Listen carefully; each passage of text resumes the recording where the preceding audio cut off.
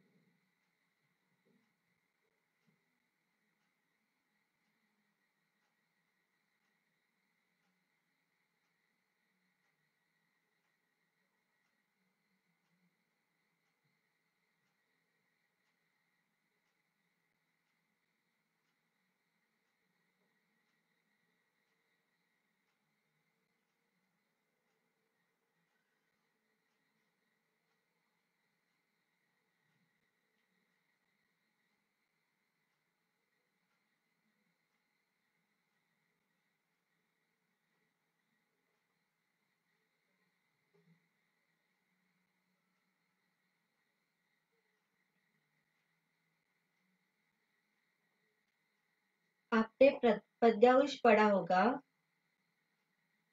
पहली कृति दी गई है, प्रवाह तालिका पूर्ण कीजिए। गली की विशेषताएँ, आपको पद्यांश में ढूंढकर गली की विशेषताएँ लिखनी है।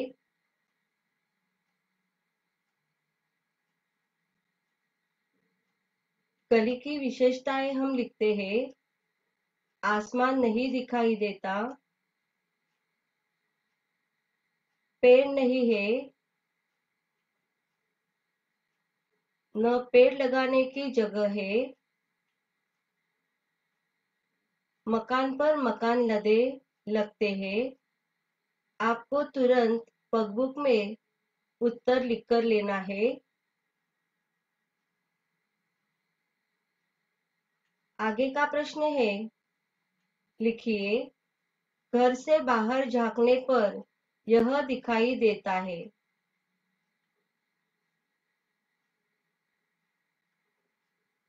घर से बाहर झांकने पर क्या दिखाई देता है? आंसर लिखते हैं, मकान ही मकान, एक गंदी व तंगली।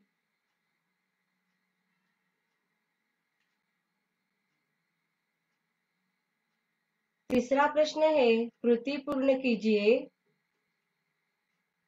गली से यह नहीं दिखता। गली से क्या नहीं दिखता है? आपको आंसर ढूंढकर लिखना है। आपने परिचय पढ़ा है। गली से यह नहीं दिखता। आसमान गली से यह नहीं दिखता, घोंसले बनाती चिड़िया।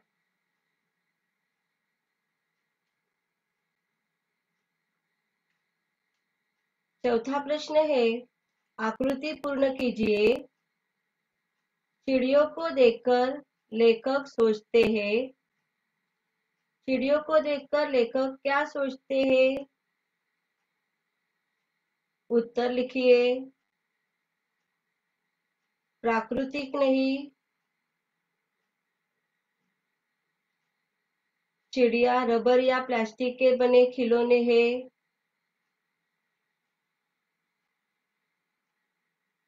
पांचवा प्रश्न है, उत्तर लिखिए। गद्यांश में वर्णित चिड़ियों की विशेषताएँ। पद्यांश में ढूँढने की कोशिश करनी है और उत्तर लिखना है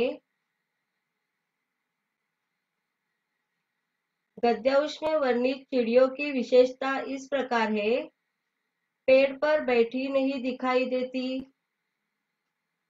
बिजली की तारों पर बैठी दिखाई देती. टेलीफोन के तारों पर बैठी दिखाई देती. यहाँ वहाँ घोंसले बनाती नहीं दिखती. यहाँ पे सेकेंड जो उत्तर है, उसमें बिजली की तारों पर है, वहाँ पे पैर हो गया है। आपको वहाँ पे पर लिखना है।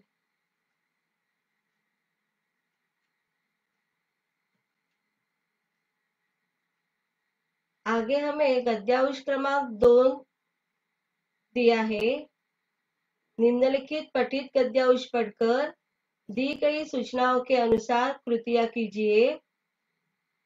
आपका पाठ्य पुस्तक क्रमांक 28 है। गद्यांश दिया है। बिल्कुल चुपचाप यहाँ से और कुछ नहीं। यहाँ तक दिया है। यहाँ पे गद्यांश दिया है।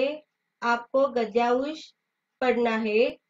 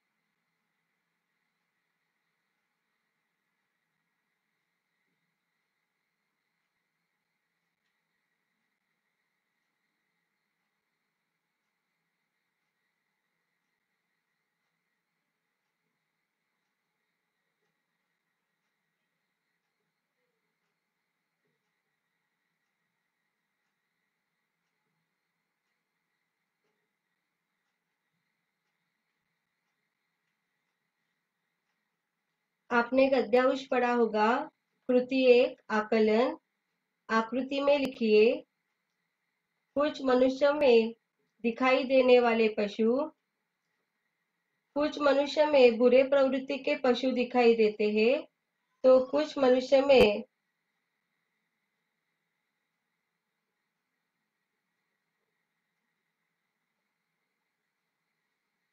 अच्छे प्रवृत्ति के पशु दिखाई देते हैं आपको जो उत्तर है, आकृति में ही लिखना है। कुछ मनुष्य में बाघ, भेड़िए लकड़बग्घे सांप, तेंदुए, बिच्छू, गोजर जैसे पशु दिखाई देते हैं। तो कुछ मनुष्य में गाय, बकरी, भेड़, तितली आदि पशु दिखाई देते हैं। आगे का प्रश्न है, सही विकल्प चुनकर वाक्य फिर से लिखिए। बिल्कुल चुपचाप बैठकर सिर्फ़ डैश बारे में सोचे। विकल्प दिया है, मेरे, अपने, सबके। तो यहाँ पे उत्तर क्या आएगा? लिखते हम, बिल्कुल चुपचाप बैठकर सिर्फ़ अपने बारे में सोचे। दूसरा वाक्य दिया है, दूसरों की सोच समझ पर डैश रखे, विकल्प है भरोसा, प्रेम, संदेह।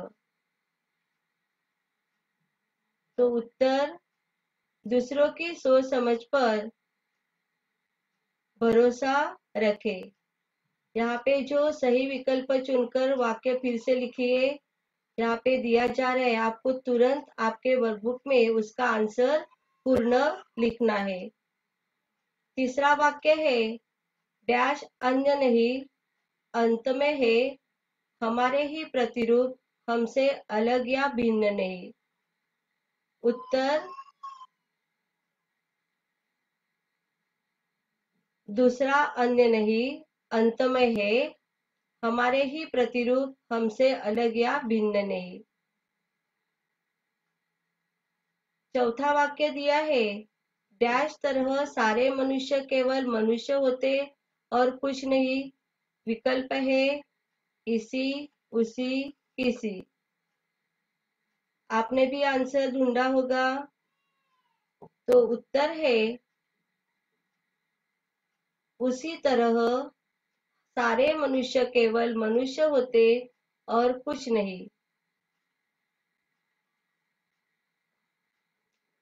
कृती दोन स्वमत अभिव्यक्ति।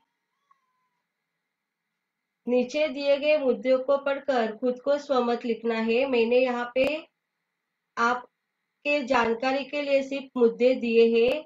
उस मुद्दों के आधार पर खुद को आपको क्या लिखना है? स्वमत लिखना है। एग्ज़ाम में परीक्षा में ऐसे मुद्दे नहीं दिए जाते, सिर्फ़ आपके जानकारी के लिए मैंने ये यहाँ पे मुद्दे दिए गए हैं। इसके आधार पर आपको आत्मचिंतन के लाभ विषय पर अपने विचार 25 या 30 शब्दों में लिखने हैं। यहाँ पे मैंने मुद्दे दिए हैं। आत्मचिंतन का शाब्दिक अर्थ होता है स्वयं का अध्ययन करना। अच्छे से सोचकर निर्णय ले सकते हैं। हम खुश रह सकते हैं। क्रोध को कम कर, लालच पर काबू पा सकते हैं। आत्मचिंतन करने से हमें अपने बारे में पता चलता है कि हमारे भीतर क्या क्या कमियाँ हैं। हमें अपने आप को सुधारने के लिए क्या क्या करना चाहिए। आत्मचिंतन करने से हम अपनी कमियों को पहचान सकते हैं। इसीलिए आत्मचिंतन करना बेहद ज़रूरी है। तो बच्चों, जो स्वमत दिया जाता है, स्वमत खुद को ही लिखना है।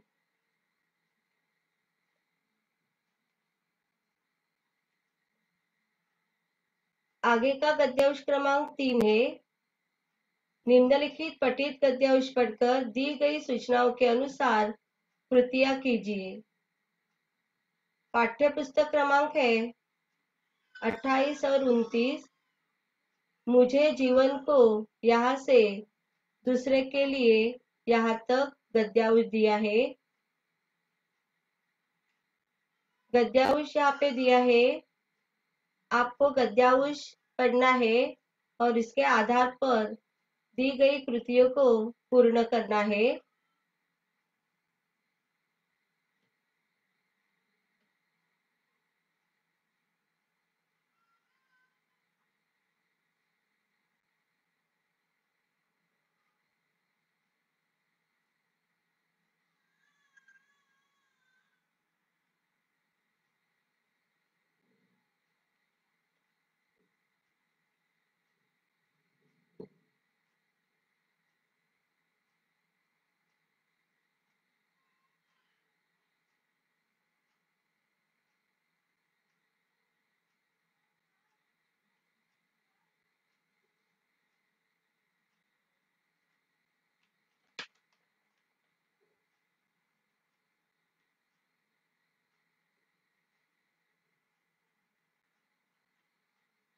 कृति एक आकलन, कृति पूर्ण कीजिए, लेखक ऐसी ज़िंदगी बिताना नहीं चाहता, लेखक कैसी ज़िंदगी बिताना नहीं चाहता, आपने अभी परिच्छेद पढ़ा है, आपको आंसर उसमें से ढूंढकर लिखना है।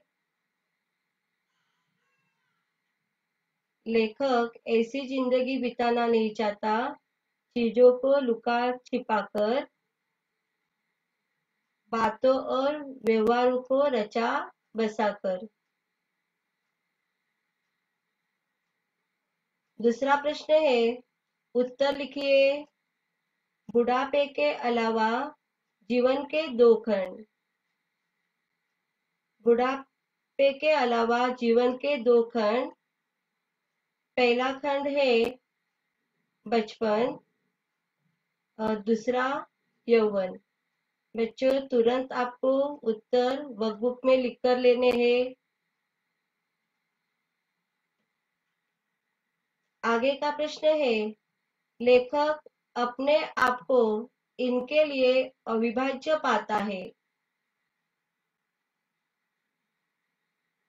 आंसर आपको आकृति में ही लिखना है। पहला है साहित्यिक चेष्टा और दूसरा है जीवन चेष्टा.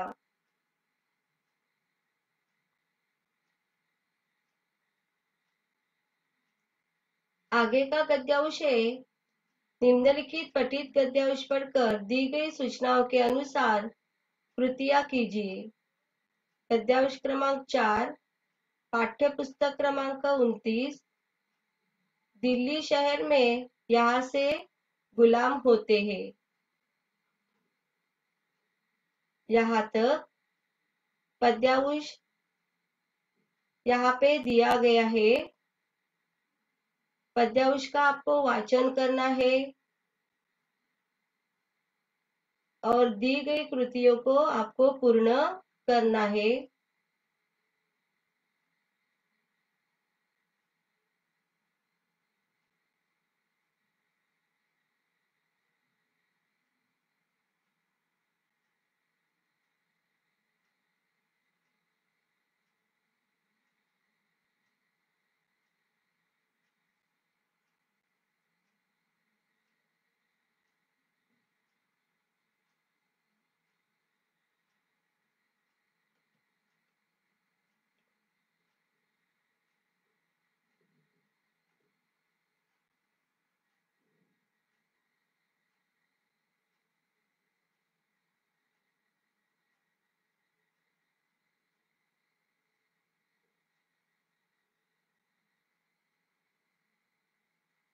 आपने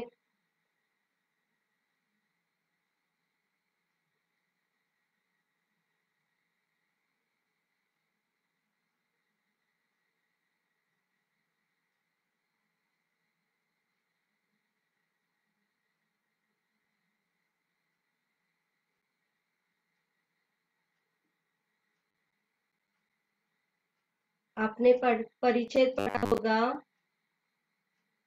कृति एक, आकलन। आकृति में लिखिए, मनुष्य जीवन की स्थितियाँ। उत्तर आपको आकृति में ही लिखना है।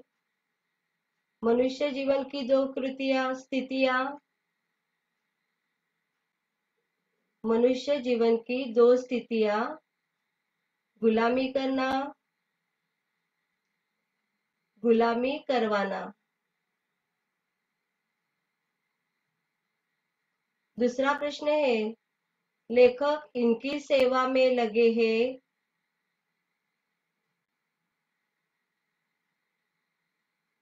लेखक मोटर कंप्यूटर की सेवा में लगे हैं। दूसरा प्रश्न है, आकृति पूर्ण कीजिए। लेखक की दृष्टि में दिल्ली शहर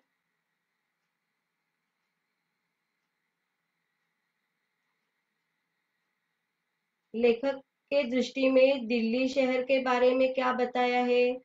आपको परिच्छेद में से ढूंढकर यहाँ पे लिखने की कोशिश करनी है।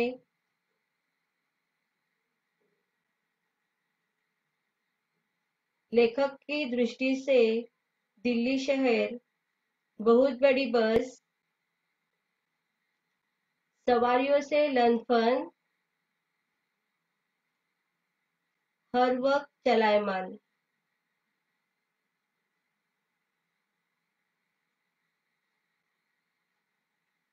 जोड़िया मिलाइए, तीसरा प्रश्न है, दो गढ़ दिए गए हैं, अ और ब।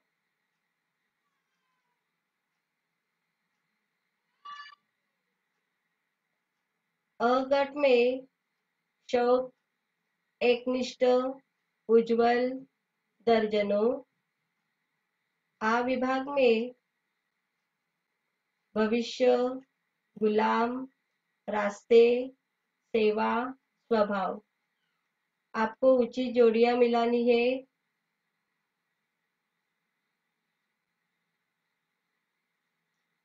शौक का क्या आता है? स्वभाव।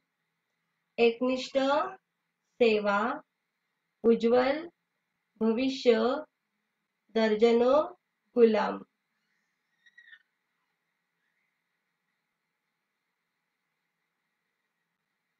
उसके आगे संधि का मैंने विस्तार से यहाँ पे स्पष्टीकरण नहीं किया, क्योंकि मैंने जब भी आपका ग्रामर का जो विभाग था। उसमें मैंने संधि विस्तार से आपको बताई थी।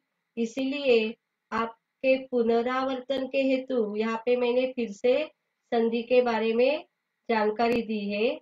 तो संधि किसे कहते हैं? जब दो निकटवर्ती ध्वनिया आपस में मिलती है, उसे संधि कहते हैं। जैसे विद्या प्लस आलय तो संधि शब्द क्या हो गया? विद्यालय। और संधि के तीन प्रकार है। स्वर संधि व्यंजन संधि और विसर्ग संधि स्वर संधि दो स्वरों के मेल से जो संधि होती है, उसे स्वर संधि कहते हैं.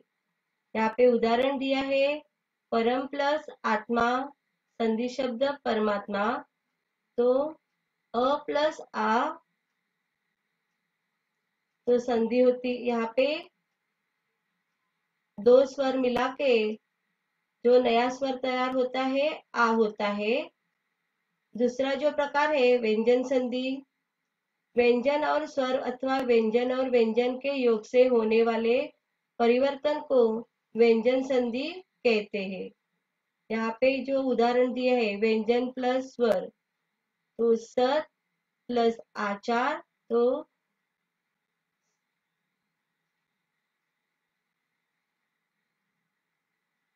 संधि शब्द क्या बना? सदाचार। और दूसरा जो प्रकार है, व्यंजन प्लस व्यंजन, सत प्लस जन तो संधि शब्द बना सज्जन। तो इस प्रकार, यहाँ पे दो प्रकार मैंने बताए कि व्यंजन संधि और स्वर संधि। आगे का जो तीसरा प्रकार है, विसर्ग संधि विसर्ग के बाद स्वर या व्यंजन आने पर जो परिवर्तन होता है, उसे विसर्ग संधि कहते हैं।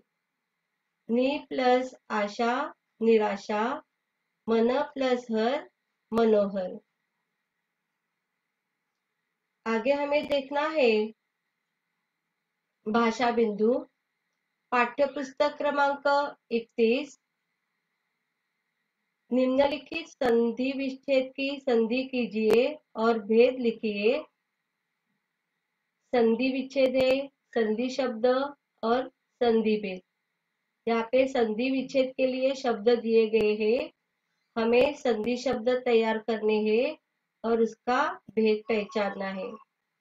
तो संधि विच्छेद के लिए दु प्लस लप महा प्लस आत्मा, अन प्लस आसक्त अत प्लस चेतना, सम प्लस तोष सदा प्लस एवं, इसका हमें संधि शब्द तैयार करना है और उसके साथ आपको संधि भेद लिखना है। आपको यहाँ पे संधि शब्द तैयार करने हैं।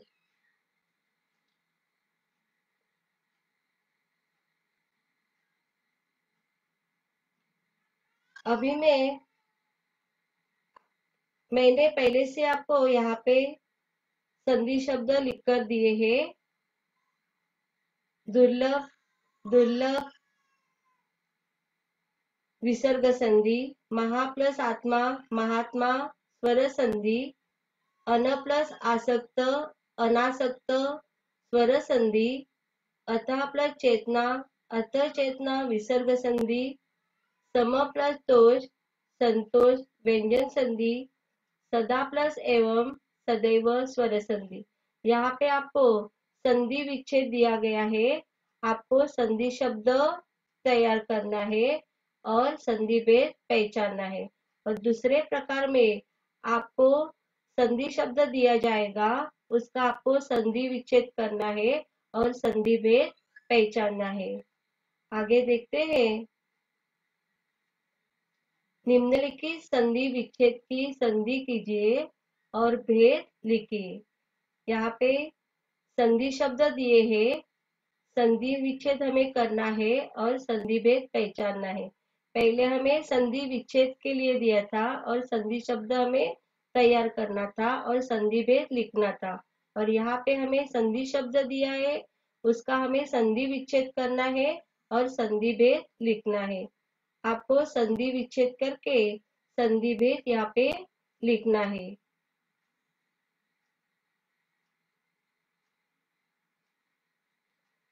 संधि शब्द यहाँ पे, सज्जन, नमस्ते, स्वागत, दिग्दर्शक, यद्यपि दुस्साहस। मैंने यहाँ पे संधि विच्छेद के शब्द और संधि भेद लिखकर दिए हैं। आपको आपके वर्कबुक में लिखकर लेने हैं। सज्जन का संधि विच्छेद है सत प्रजन व्यंजन संधि। नमस्ते का नम प्लस ते विसर्ग संधि, स्वागत, सु प्लस आगत, स्वर संधि, दिग्दर्शक, दिग प्लस दर्शक, व्यंजन संधि, यद्यपि यदि प्लस यपि, स्वर संधि, दुस्साहस, दु प्लस साहस, विसर्ग संधि। तो आगे का प्रश्न है निम्नलिखित आकृति में दिए गए शब्दों का विच्छेद कीजिए और संधि का भेद लीजिए। परीक्षा में इस तरह का प्रश्न पूछा जाता है। संधि शब्द, संधि विच्छेद और संधि भेद। संधि शब्द है दिग्गज, सप्ताह निचल भानुदय, निस्संदेह, सूर्यास्त। हमें इसका संधि विच्छेद करना है। और संधि भेद लिखना है। आपको अभी संधि विच्छेद करना है और भेद भी लिखना है। यहाँ पे मैंने संधि विच्छेद और संधि भेद लिख कर दिया है। दिक प्लस गज, व्यंजन संधि, सप्त प्लस अह, स्वर संधि, नी प्लस चल, विसर्ग संधि, भानु अधिक उदय, स्वर संधि, नी अधिक संदेय विसर्ग संधि और सूर्य प्लस अस्त स्वर संधि.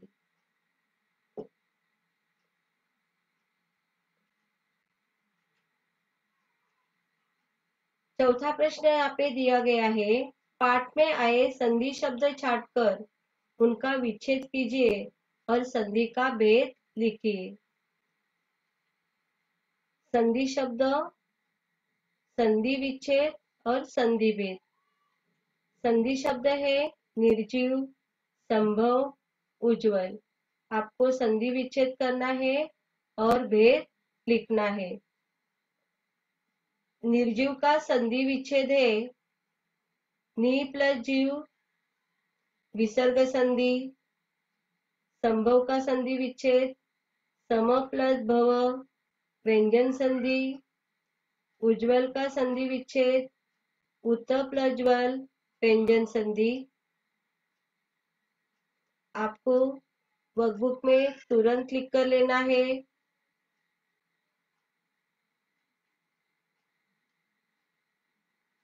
तो बच्चों, आज की सभी स्वाध्याय कृतियाँ आपने पूर्ण की होगी। संधि का विस्तार से स्पष्टीकरण नहीं दिया है। प्रश्न पत्र में मैंने विस्तार से आपको पढ़ाया था। आज पुनरावर्तन के हेतु संधि के तीन प्रकारों की जानकारी तथा संधि विच्छेद, संधि शब्द, संधि भेद की तालिका उत्तर के साथ आपको दी गई है। हम गद्यांश की कृतियाँ पूर्ण करते समय व्याकरण विभाग का पुनरावर्तन करते रहेंगे और बच्चों, आपको छठी कक्षा से लेकर नौवीं कक्षा तक का व्याकरण का पुनरा, पुनरावर्तन करना है। खुश रहो सुरक्षित रहो। धन्यवाद।